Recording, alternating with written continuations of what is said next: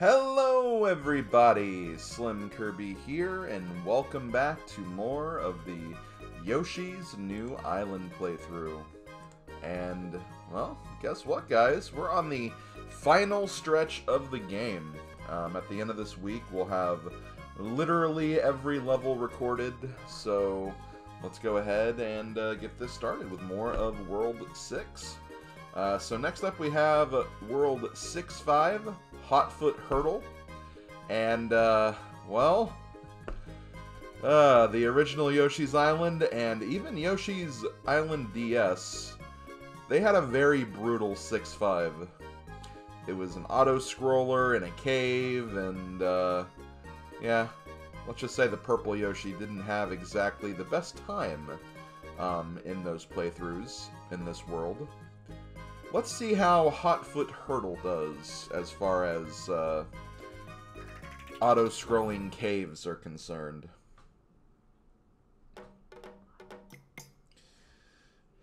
And we are in a cave, and as we'll see, yep, we got auto-scrolling. They did it again.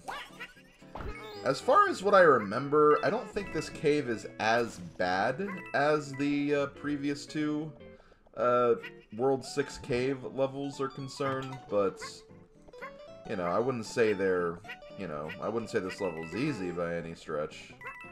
There's definitely a lot of parts to it, and uh, it's a pretty lengthy level, too, but um, I honestly don't feel like this is as bad, just in my own personal opinion. There we go. Jump down here, grab that.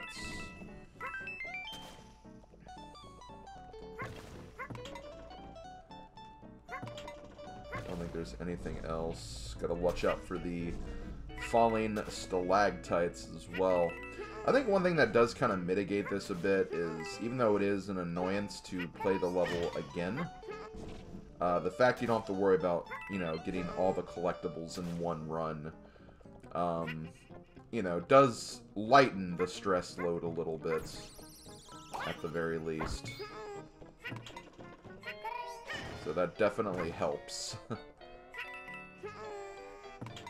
but with uh, that being said, you know, it is an auto-scroller. These levels are usually pretty lengthy as a result of that. So yeah, just have to be a little, uh, little careful about how you progress here. Uh, so in this little chamber, we will get uh, some collectibles that you would miss out on if you went the other path. So you definitely have to go the down right, uh, down path first. Uh, here, make sure you do this properly. Make sure you do all of those specific things. Because if you don't, you'll probably end up missing out on something. And nobody wants that. Okay. I think we're doing pretty good so far. Alright, this part of the level. Uh, we do have rising lava, and we do have uh, bridges that kind of rotate.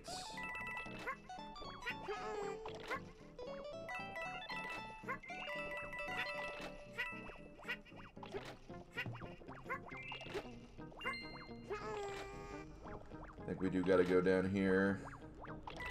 And the lava does rubber band, by the way, if you couldn't tell from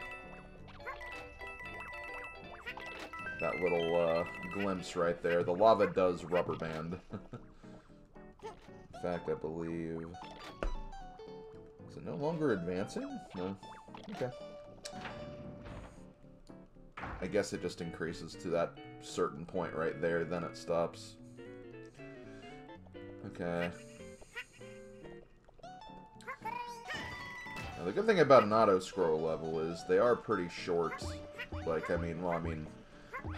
They're long in the sense that you have to do a lot of waiting around, but they don't really go out of their way to make the levels massive, which was, I think, the major problem with, like, the very first uh, 6-5.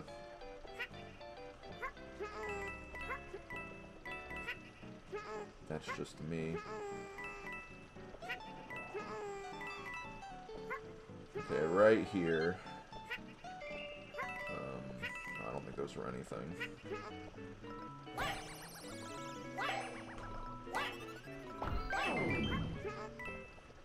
I believe right here is a flower. So make sure you grab that before you make any more progress. Make sure you get eggs right here. Just need two more red coins and a flower, which I believe we're good to go on.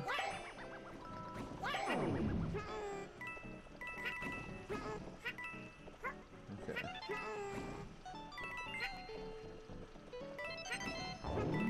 Uh, we're good. Okay.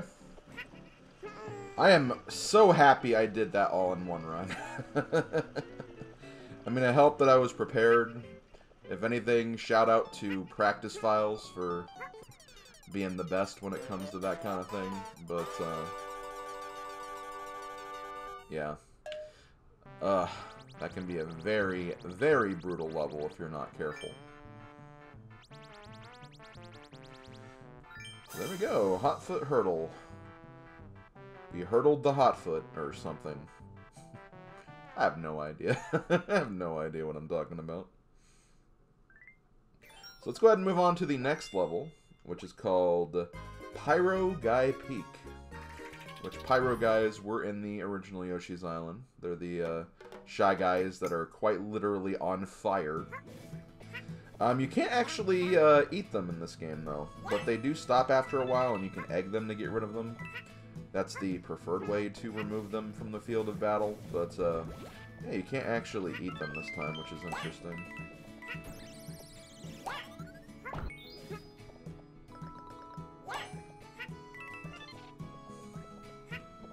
Let's go ahead and get some more eggs. Mmm, eggs. Mmm, flour.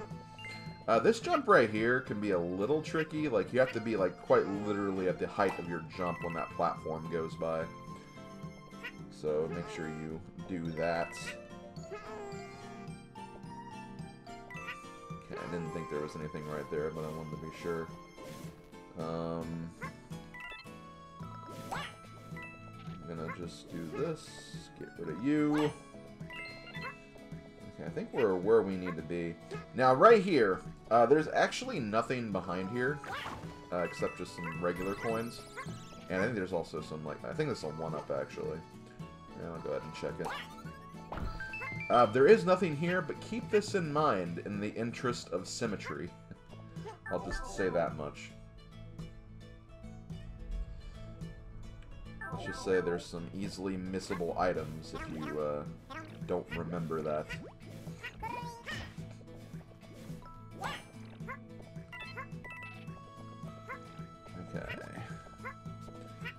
Now, from what I remember, I think you need 11 coins before you leave this room. Something to that effect, anyway.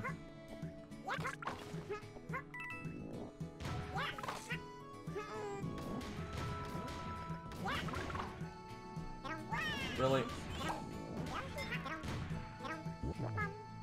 I disagree.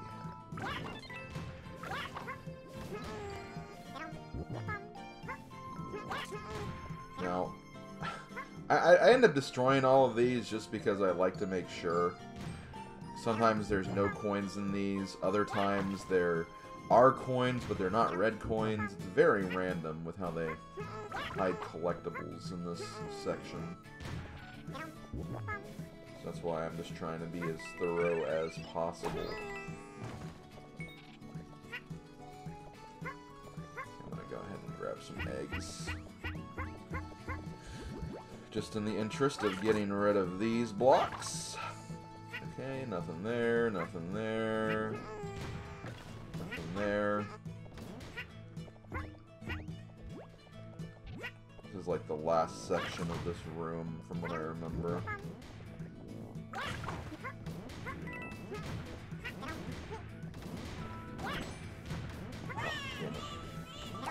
I think that we do have another, like, middle ring, though, so I think we're still good. the very least, another place where we can get stars anyway.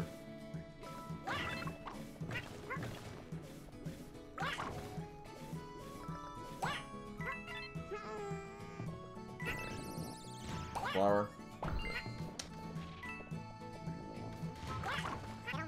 Yes, phone, you are being loud, as a matter of fact. Okay, maybe it's actually only nine uh, red coins we need. I'm pretty sure we haven't missed anything yet. Also, I don't... One, I don't get how I missed eating that uh, bullet bill, but... Thankfully, it also didn't hit me for whatever reason, too, so I can't complain too much. Okay, I think we got everything, so I think we're good to continue. Yeah, it was either 11 or 9. I don't remember the exact number. I remember I just had trouble figuring out how much I needed for the next section, so I was convinced I missed something in my practice file, but in reality, um, I didn't, so...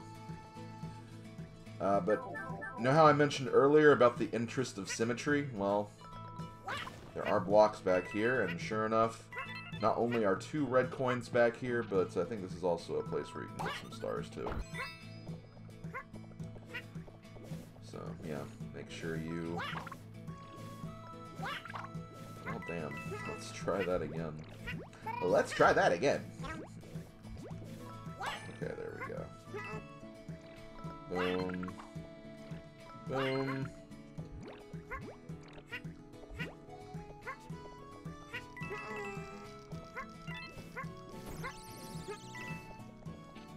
remember what this is.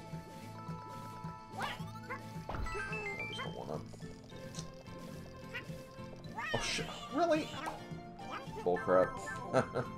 I disagree with that. Okay, so uh, this room right here, there's obviously a flower we have to make our way around to. And there's actually two ways you can get this flower. You can um, just go up there manually and use eggs to get rid of the blue spiky things. Or you can uh, navigate this chomp rock through the room. Now, the chomp rock, you'd think that this would be, like, annoying to do. Like, you'd have to, like, time it to get on the platforms. Uh, but the platforms are actually solid. Uh, which means if you try to push the rock against the platforms, like, uh, they won't, like, go through the platforms or do anything like that. So, you can actually, like, it's actually safer to push these on the platforms than you'd think it would be. You just don't want to push it too far.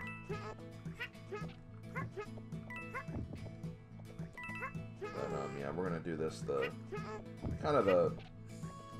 I don't want to say the more obnoxious way, the longer way for sure. Like I said, you, you can just...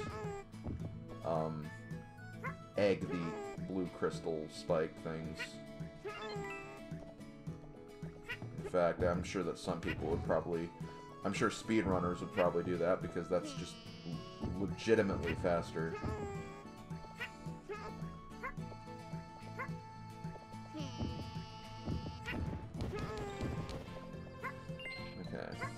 So all we need is, uh, we need a star and we need uh, one red coin, which I'm sure the red coin is beyond this pipe. And the star we can easily get because there's a shy guy right here, and I have... Well, I messed that up. Never mind. Um... Well, hold on. I can also do this. Just gotta do this, wait for him to jump, then jump over.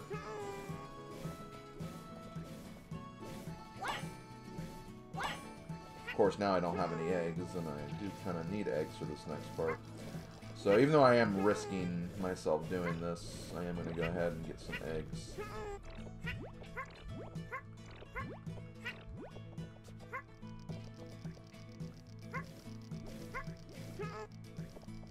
Oh, I can also just do that.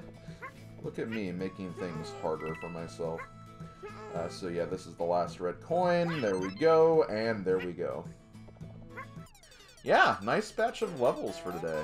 Um, these were both levels I had to uh, do twice in my um, practice file, but here I only had to do them once.